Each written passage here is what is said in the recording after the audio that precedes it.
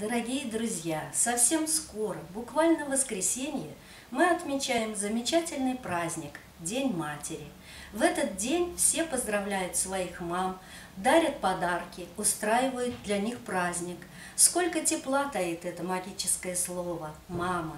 С детских лет она учит нас быть мудрыми, дает советы, заботится и оберегает. Когда женщина становится матерью, меняется вся ее жизнь. В ней открываются все ее лучшие качества – доброта, нежность, ласка, любовь, терпение. И вот за такой нелегкой и трудной работой иногда наши мамы просто забывают о себе. А так хочется, чтобы наши мамы всегда были красивыми и радостными. Ведь женщина в любом возрасте всегда остается женщиной с желанием быть молодой, привлекательной и стильной. Послушайте информацию, которая станет вам небольшой подсказкой для этого. Сейчас мы хотим предоставить несколько приятных минут и пригласить к экрану наших замечательных мам. Итак, чтобы хорошо выглядеть, совсем не обязательно часто посещать парикмахерские. Конечно, в интернете сейчас можно найти все, но для этого все-таки нужно время, потому что там множество информации. Не лучше ли просто взять и открыть книгу Светланы Филатовой «Современные стрижки и укладки». Поверьте, что все возможно. С помощью советов этого замечательного издания вы научитесь самостоятельно делать красивые укладки и прически, умело использовать средства для фиксации и украшения волос. Подробные инструкции и наглядные пошаговые иллюстрации помогут вам легко освоить даже основы парикмахерского искусства. Например, укладка римлянка, укладка итальянка, укладка классика, высокий пучок и даже свадебные укладки. Вы обязательно останетесь довольны собой. Хочу обратить ваше внимание, что прическа получится намного выразительнее, если использовать ободок или такую блестящую заколку. Будет красиво. Если вы хотите узнать все о своей фигуре, то вам снова поможет книга. Автор издания Светлана Зайцева «Учебник стилиста» как консультант по стилю подберет вам свой фасон одежды и поможет создать собственный стиль. Также вы узнаете, какая одежда подойдет именно на вашу фигуру. Чтобы подчеркнуть свою красоту индивидуальность и характер, женщине необходимы украшения.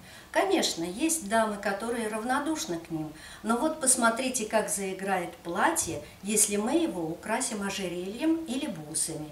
А если вы сделаете своими руками такие стильные красивые штучки, да еще и с фантазией, то от такого украшения не откажется никто а в помощь вам будет книга «Мастер-класс. Вышитая бижутерия».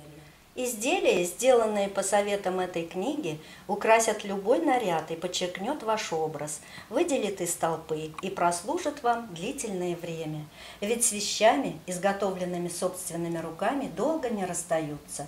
Я уверена, что каждая женщина найдет в этой книге себе украшение по вкусу.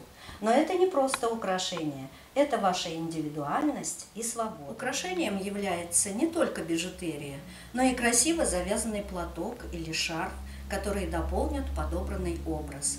Благодаря этому аксессуару можно украсить свой гардероб и придать костюму неповторимый стиль.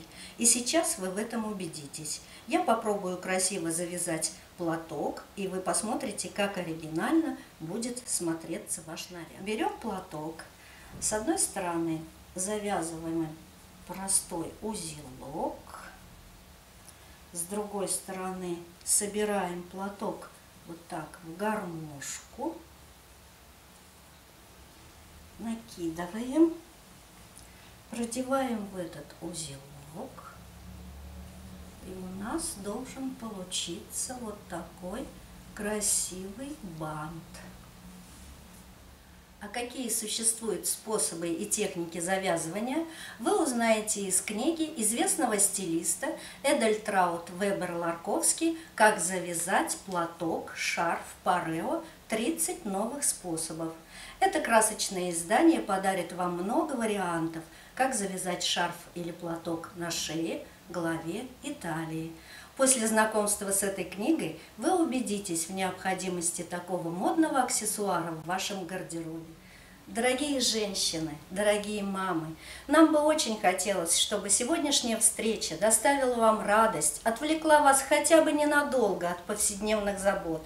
Мы сердечно поздравляем вас с прекрасным праздником, Днем Матери, который отмечается в последнее воскресенье ноября. Желаем вам счастья, здоровья, пусть все ваши мечты сбываются, и будьте всегда красивы.